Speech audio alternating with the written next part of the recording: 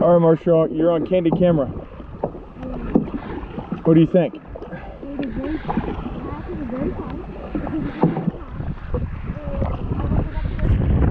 Ooh, now look, now it's like pushing us.